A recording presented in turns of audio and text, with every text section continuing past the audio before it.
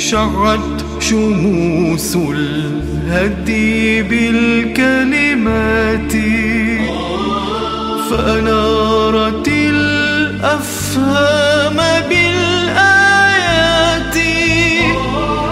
أسرج بنور العلم عقلا نيرا وافتح من الألباب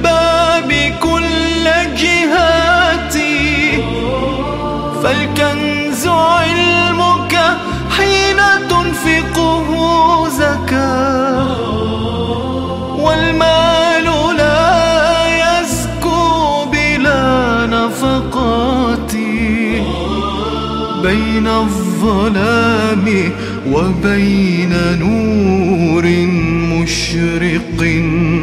هدي ينير الدرب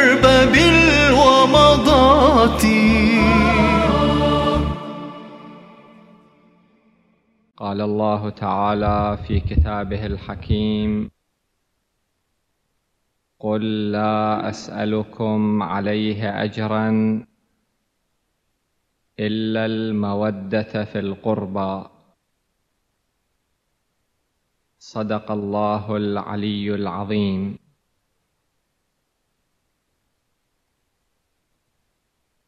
الحب عندما يتعلق بشيء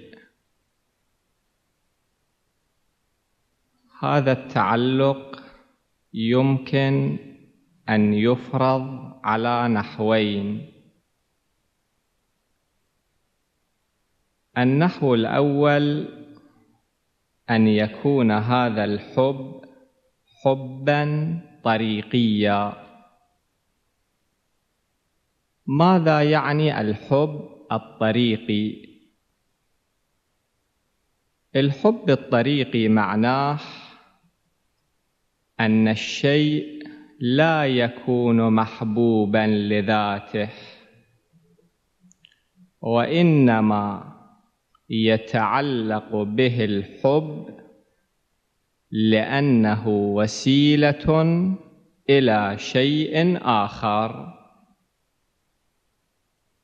وبعبارة ثانية الحب ينصب اولا وبالذات على شيء. ويترشح ثانيا وبالعرض من ذلك الشيء على شيء آخر. اذا حبك لهذا الشيء الآخر ليس حبا ذاتيا. وإنما لأنه وسيلة إلى غيره. مثلا إذا فرضنا شخص يحب الدينار ويحب الدرهم هل يحب الدينار والدرهم لذاتهما؟ لا. لأنه هذه الأوراق النقدية لا قيمة ذاتية لها. لا محبوبية ذاتية فيها.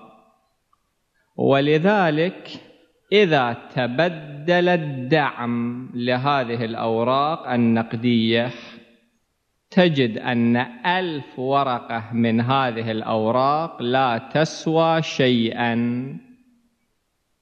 فهذا الحب إنما كان حبا لشيء آخر. لا حب لهذه الأوراق بما هي هي. هذا هو النحو الأول من أنحاء تعلق الحب. النحو الثاني أن يكون التعلق تعلقا موضوعيا. يعني شنو التعلق الموضوعي؟ الشيء محبوب لذاته. لا تتخذ هذا الشيء وسيلة إلى غيره. الآن إن تلاحظوا حبنا للكمال وحبنا للجمال الله سبحانه وتعالى جعل فينا نحن البشر حب الجمال. النبي صلى الله عليه وآله وسلم يروى.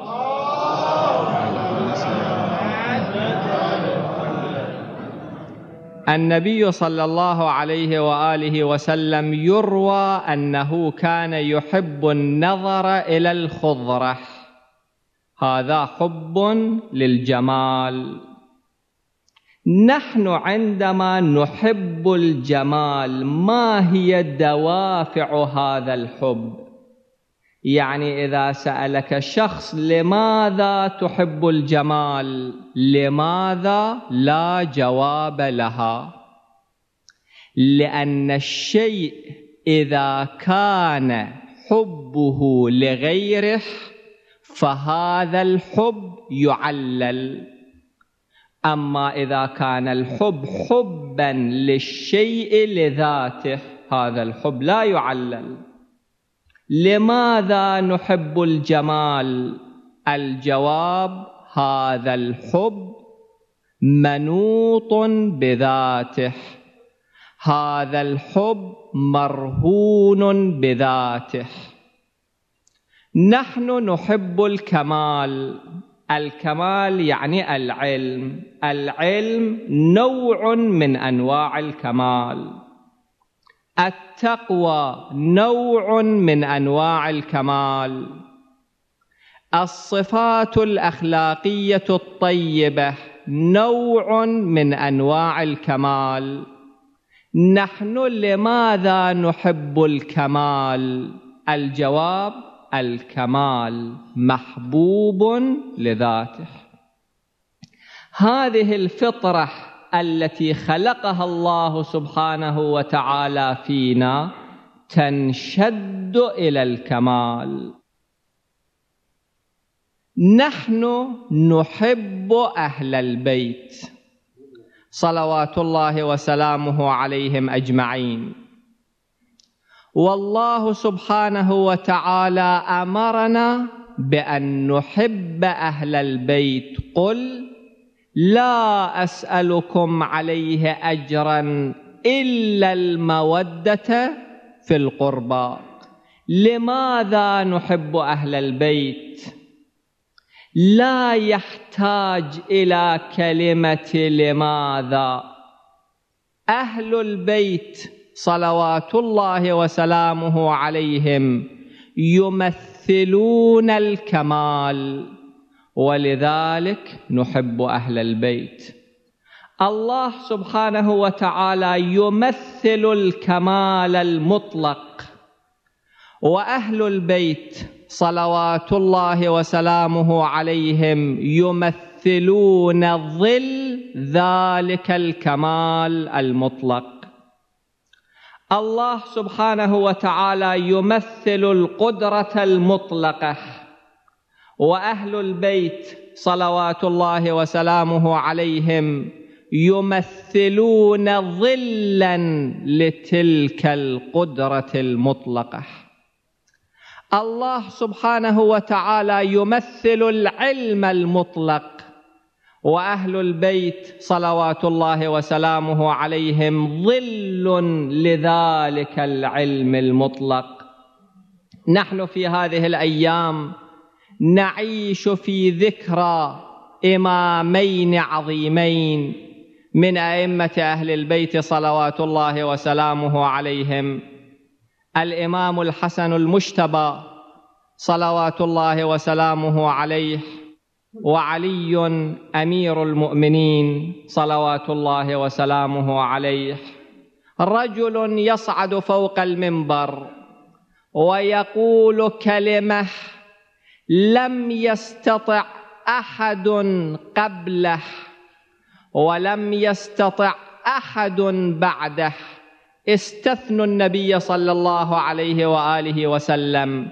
لا يستطيع أحد إلا من ارتبط بذلك العلم المطلق وبتلك القدرة المطلقة يصعد فوق المنبر ويقول سلوني قبل أن تفقدوني هل تجدون فقيها من الفقهاء أو عالما من العلماء أو عظيما من العظماء؟ إلا من اتصل بتلك القدرة المطلقة وبذلك العلم المطلق يستطيع أن يقول بصدق هذه الكلمة سلوني قبل أن تفقدوني لا تطرح إيه مسألة تتعلق بالدين أو بالدنيا أو بالماضي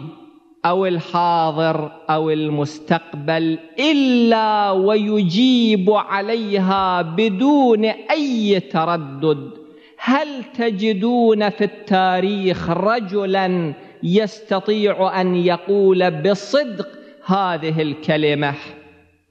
هؤلاء أوعية مشية الله مظاهر لطف الله حملة كتاب الله مظاهر رحمة الله سبحانه وتعالى ونحن نحبهم لأنهم يمثلون هذا الكمال ويمثلون هذه القدرة الإلهية المطلقة.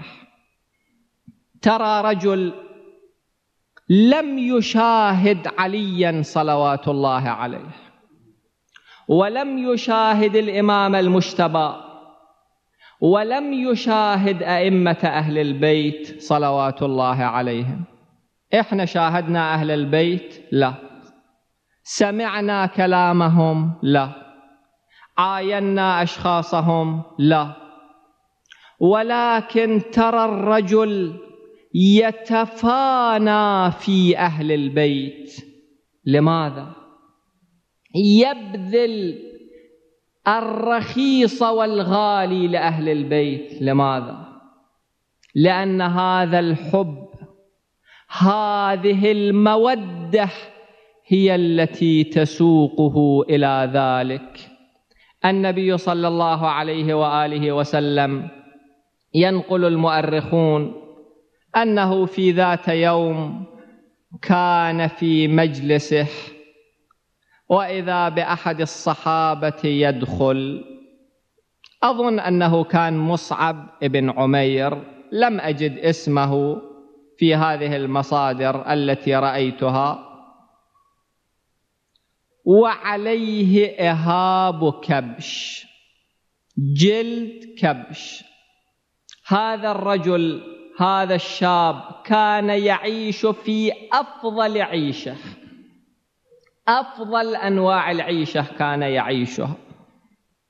كان أبوه ثريا وكانت أمه ثرية وكان يعيش وضعا يحسده عليه الآخرون. ولكن الآن يدخل بهذه الهيئة الرثة. عليه جلد كبش. النبي صلى الله عليه وآله وسلم ينظر إليه فيقول لأصحابه انظروا إلى هذا الرجل الذي نور الله قلبه. حقيقة مثل هذا الموقف يحتاج إلى نور من قبل الله سبحانه وتعالى. انظروا إلى هذا الرجل الذي نور الله قلبه. لقد رأيته بين أبويه يغذوانه بأطيب الطعام والشراب فدعاه حب الله وحب رسوله إلى ما ترون. هذه النقلة من تلك العيشة إلى هذه العيشة لأن هذا الحب حب صادق. الحب إذا كان صادقا لا يعرف حدا معينا. الإنسان يتفانى في من يحبه. في يوم من الأيام النبي صلى الله عليه وآله وسلم يروي المؤرخون أنه كان في غزوة من الغزوات.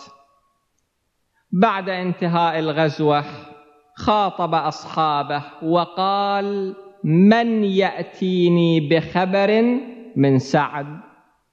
سعد أحد الصحابة سعد بن الربيع. قام رجل وقال أنا آتيك بخبره. النبي صلى الله عليه وآله قال لقد رأيته في النقطة الفلانية. و12 واحد كانوا محيطين به بسيوفهم ورماحهم وهو كان يدافع دفاعا مستميتا عن نفسه. اذهب إلى تلك النقطة وأتني بخبره. ذهب الرجل إلى تلك النقطة فرأى سعدا وبه رمق من الحياة يعني في اللحظات الأخيرة من حياته. هذه اللحظات من أشد اللحظات على الإنسان لأنه الإنسان في هذه اللحظات الإنسان ان تلاحظوا إذا خسر ثروته ماذا يصاب؟ إذا والعياذ بالله فقد ابنا من أبنائه. كيف تكون حالته؟ في تلك اللحظات الإنسان يفقد كل شيء في لحظة واحدة. يعني كل الثروة كل الأموال الأبناء كل العلائق المادية في لحظة واحدة الإنسان يشوف أنها تنقطع. وبعدين هذا الرجل ما يموت على فراشه.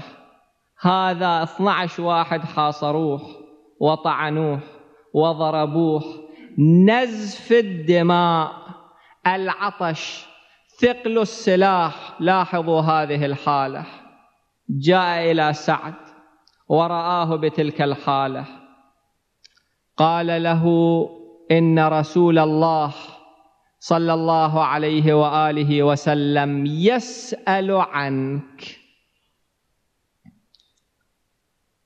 ففتح عينه وقال أرسول الله حي؟ هذا هو سؤاله.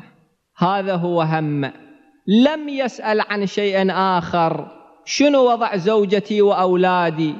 شنو وضع أموالي وعقاراتي؟ ليست هذه تهمه. وصية لاولاده لا تهمه. الذي يهمه أرسول الله حي. هذا هو السؤال. قال نعم وهو يسأل عنك.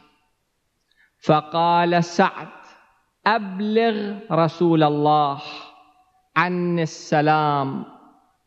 وقل للأنصار يعني جماعة أهل المدينة لا تنسوا بيعة العقبة. إذا وصلت شوكة إلى رسول الله وفيكم عين تطرف أنتم لستم بمعذورين أمام الله. انقل وصيتي هذه إلى الأنصار. وغمض عينه ومات. جاء هذا الرجل ونقل هذا الموقف إلى رسول الله صلى الله عليه وآله وسلم. فقال النبي صلى الله عليه وآله رحم الله سعدا نصرنا حيا وأوصى بنا ميتا. المقطع الثاني من الحديث أن الحب يرتبط بماذا؟ هذا الحب وهذه درجات الحب بماذا ترتبط؟ الجواب الحب من أهم عوامله المعرفة. الإنسان الذي يعرف الشخص يعرف كمال الشخص يعرف خلق الشخص وسلوكه ينشد طبيعيا إلى ذلك الشخص. الأشخاص الذين لم يحبوا أهل البيت صلوات الله وسلامه عليهم الأشخاص البعيدون عن أهل البيت لماذا هم كذلك؟ لأنهم لا يعرفون أهل البيت. كلما ازدادت المعرفة ازدادت درجة الحب. النبي صلى الله عليه وآله وسلم ينقل المؤرخون أنه قال لولا رأى عليا في قضية مفصلة وقال لولا أني أخاف أن تقول فيك أمتي ما قالت النصارى في المسيح ابن مريم. لقلت فيك قولا لا تمر بملأ إلا وأخذوا التراب من تحت قدميك. الحب كلما ازدادت درجة المعرفة ازدادت درجة الحب. الأشخاص البعيدون عذرهم أنهم لم يعرفوا أهل البيت. في حرب صفين في تلك الحرب المعروفة كان هنالك أخوان أخوان اثنان أحدهما في جيش علي صلوات الله وسلامه عليه والثاني في جيش معاوية. التقى الأخوان. هذا الأخ قال لذلك الأخ لماذا أنت في جيش معاوية؟ لماذا تحارب معاوية؟ أنت ما تعرف معاوية؟ قال له أخوه أنت لماذا في جيش علي؟ السؤال مردود عليك. أنت لماذا تقاتل مع علي؟ صلوات الله عليه. قال له لماذا؟ قال علي لا يصلي. علي الذي لا يصلي كيف تحارب معه؟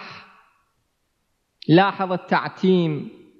لاحظ تلك الأجواء التي صنعها بنو أمية.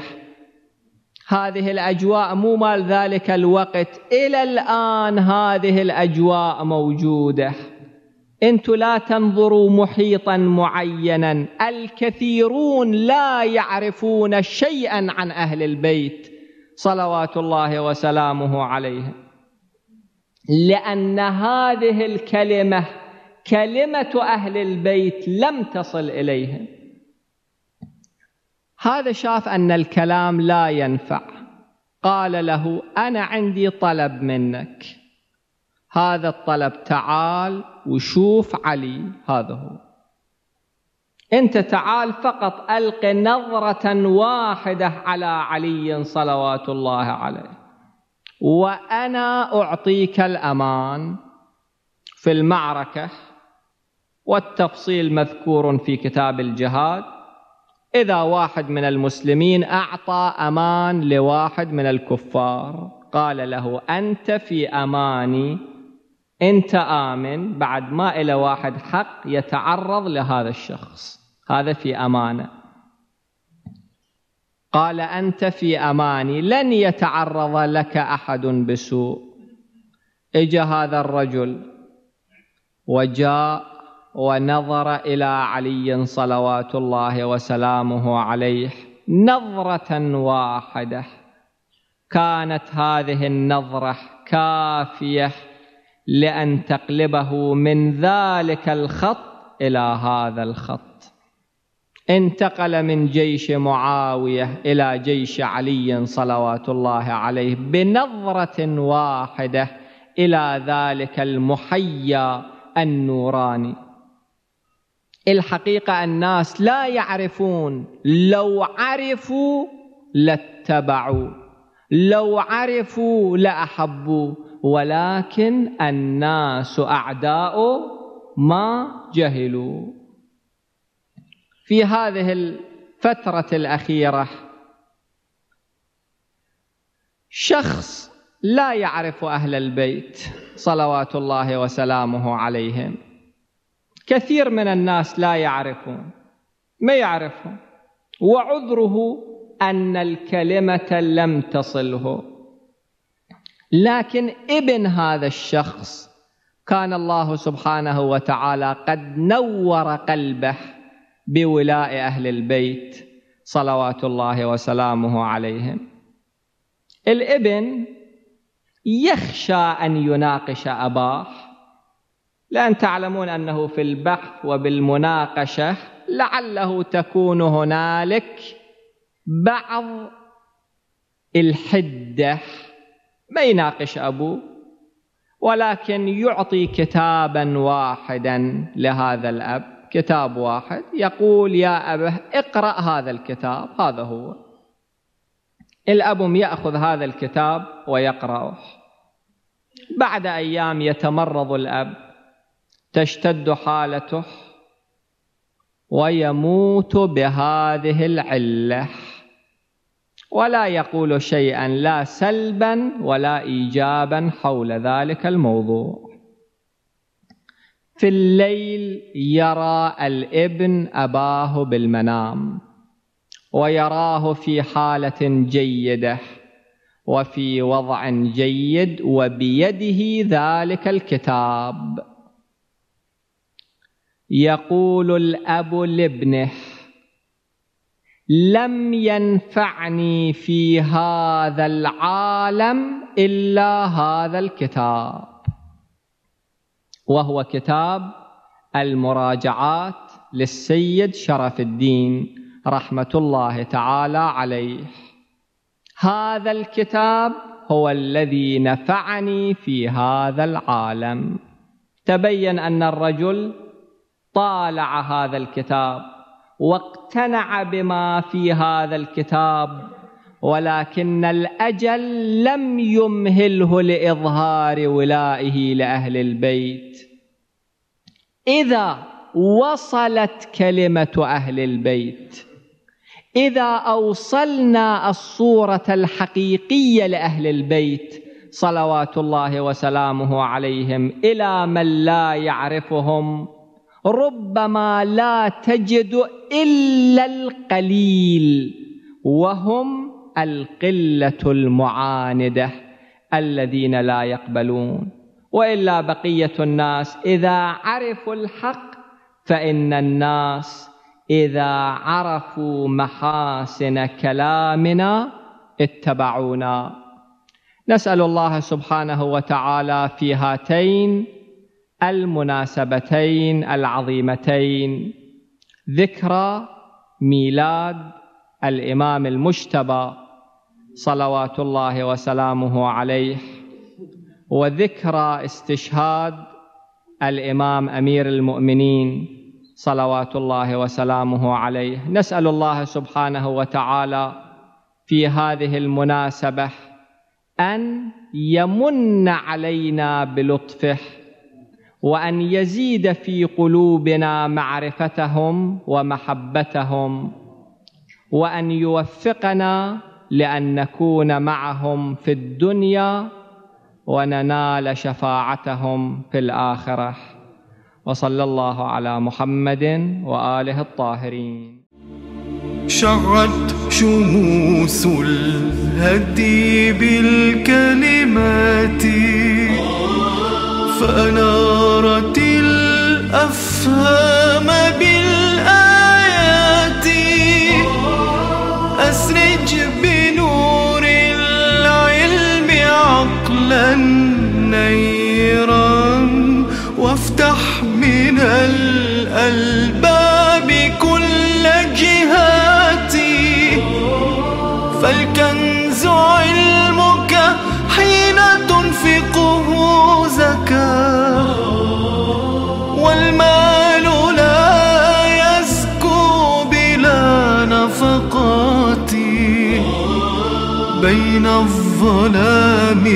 وبين نور مشرق